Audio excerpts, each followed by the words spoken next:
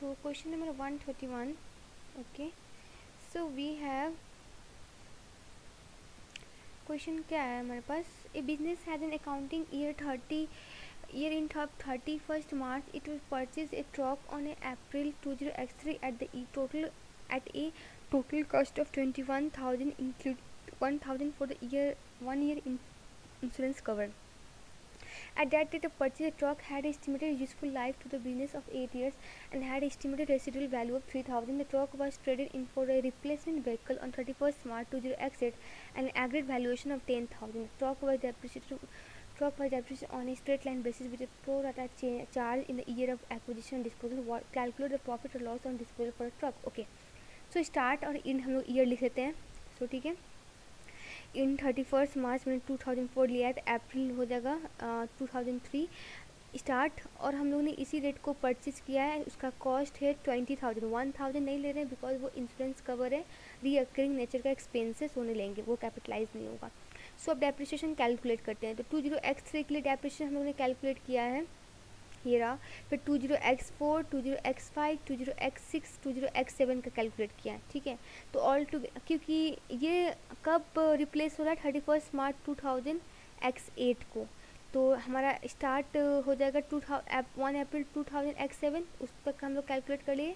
Total accumulated depreciation हो जाएगा one zero six two five so now अब carrying amount find करेंगे। Carrying amount हमारा आ जाएगा nine three seven five so अब हमारा कैरिंग अमाउंट लेस है डिपॉजिट से प्रॉफिट टेन थाउज़ेंड में हुआ है तो हमारा प्रॉफिट आ जाएगा सिक्स ट्वेंटी फाइव का। So question number one thirty two complete the following statement by making one choice from इस option available when the entity has revalued a non current asset it is it is option one compulsory and optional optional to account for excess excess depreciation arising on revaluation and when excess depreciation is accounted for the accounting adjustment is reflected in statement of change in equity.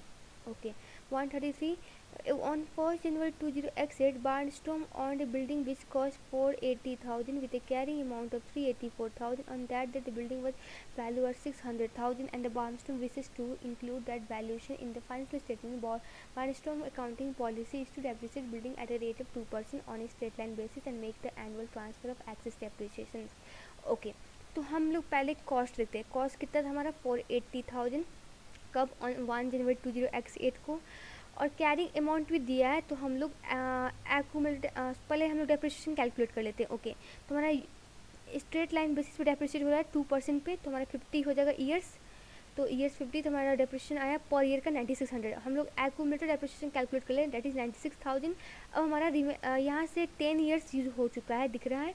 So remaining life है forty years अब new depreciation निकालते हैं। Revalued amount है six hundred thousand divide forty करेंगे तो हमारा fifteen thousand आ जाएगा new depreciation so excess depreciation हमारा है फिफ्टी फोर हंड्रेड जो क्वेश्चन पूछ रहा है।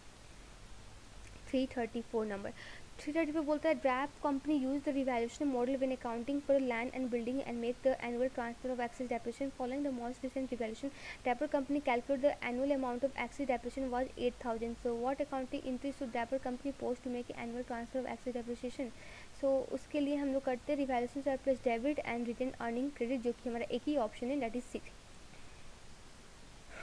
one thirty five if revaluation model use for P P E and revaluation must subsequently made with a sufficient regularity to ensure the carrying amount does not differ materially from the fair value of its reporting date या it is true In section 2, when in the item of PPE revalued, there is no requirement that entire class of asset to which the item belongs to be revalued. ये false से हम लोग को करना पड़ेगा अगर एट आइटम हम लोग रिवैल्यू कर रहे हैं तो सेम क्लास ऑफ़ आइटम को भी हम लोग रिवैल्यू करना पड़ेगा so one thirty six the following are the information of premium company is available for the year in thirty first October two zero X two the property and cost as at 1 November 20x1 is 102,000. Accumulated appreciation as at 1st November 20x1 is 20400.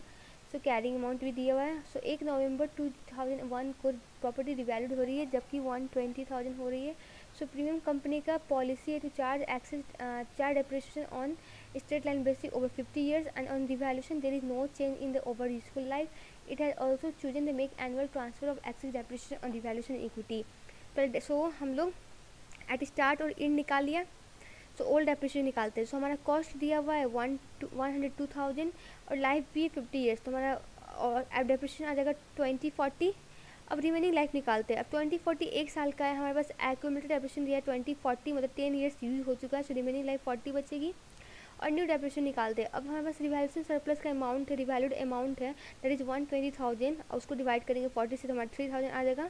New depreciation so excess depreciation minus करेंगे old depreciation और new depreciation को तो हमारा excess depreciation आ जाएगा that is nine sixty so revaluation surplus का हम लोग अमाउंट निकाल लेंगे। हमारे पास रिवैल्यूशन सरप्लस का अमाउंट है one twenty thousand revalued amount and carrying amount है एटी वन सिक्स हंड्रेड तो हमारा रिवैल्यूशन सरप्लस आ जाएगा three eight four double zero and इससे हम लोग एक्सेस डेप्रिशिएशन माइनस करेंगे बिकॉज़ बोल रहा है कंपनी का पॉलिसी है to make annual transfer of excess depreciation on revaluation in equity तो हमारा आ जाएगा revaluation surplus three seven double four zero so now हमारा ऑप्शन क्या हो जाएगा? A so one thirty seven state whether the statement is true or false statement one if the revaluation model is use for P P E all the item of plant property and equipment must be subject to revaluations all item of PP must be taken to revaluation true. And uh, when the item when an item of PP is revalued it is compulsory to make annual transfer of excess depreciation within equity. Year optional and compulsory is false. 138 on the first 31st January 2006 Westwell company disposed a building for 450,000 the building was accounted for in the revaluation model. At the date of disposal after deduction of accumulated depreciation 90,000 the building had a carrying amount of 310,000 It also had a revaluation surplus in equity 30,000. What is the wasted profit on disposal of the building for the inclusion in the statement of profit or loss for the year in 31st December 20 exit. अब हम लोग को carrying amount दिया और कितने में dispose हो रहा है वो भी दिया हुआ तो उन दोनों को माइनस करेंगे तो हमारा आ जाएगा profit that is one forty thousand ठीक है सो ईजी हो जाएगा देखो ठीक है so one thirty nine number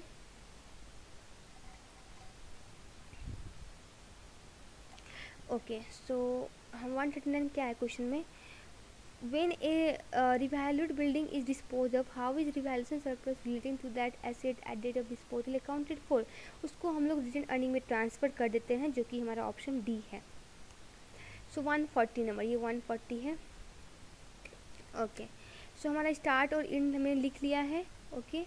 And business has accounting uh, year end of 30 June okay and uh, it purchased an item of plant on 1st April 20x5 as follows cost इतना है maintenance charge इतना है and total इतना है तो हम लोग maintenance charge include नहीं करेंगे नहीं करेंगे capitalize के लिए we only take a cost that is 50,000 at that at, at the date of purchase item of PP had estimated useful life to the business 5 years and estimated residual value of 2000 so so, हम लोग एक year का depreciation calculate करेंगे ठीक है and ये replaced हुआ है thirty September two zero X eight को with a valuation of five thousand और डिप्रेशन चार्ज हो रही है फाइव परसेंट एन एम से on straight line basis with a pro rata charge in the year of acquisition and disposal से profit and loss calculate करना है। तो purchase हुआ ये ईयर मैंने ले लिया क्योंकि एक April two zero X five को परचेज हो रही है तो यहाँ April two zero X five इस ईयर के बीच में पड़ेगी। तो हम लोग ने अप्रैल, मई, जून, तीन महीने का कैलकुलेट कर लिया मैंने, ठीक है? अब नाउ ये ये दूसरा ईयर है। One July two zero X five thirty June two zero X six तो डेप्रिसिएशन यहाँ का फिर हम लोग एक साल का ले लेंगे, बस ये थ्री बाई टू ऑमिट हो जाएगा। ये हमारा एक साल का डेप्रिसिएशन अगेन अब ये दूसरे साल में भी वही सेम चार्ज होगी डेप्रिसिएशन बिकॉज़ स्ट्रेट लाइन पर चार्ज हो रही है। एंड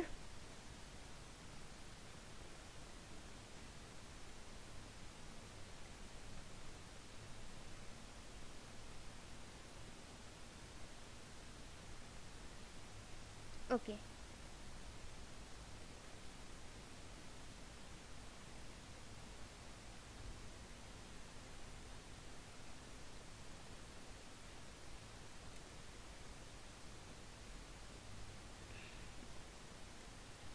तो ये हम लोग चार्ज कर लिया डेप्रिसिएशन फिर एक साल का और चार्ज होगा that is one July two zero X eight नहीं एक्स सेवन एक्स सेवन से लेके thirty June two zero X eight अब इस ईयर का डेप्रिसिएशन भी सेम होगा। फुल ईयर का चार्ज करेंगे प्रॉफिट नहीं है। बेस्ट सो नाउ अब एक्यूमुलेटेड डेप्रिसिएशन कितनी आएगी आप जोड़ लो।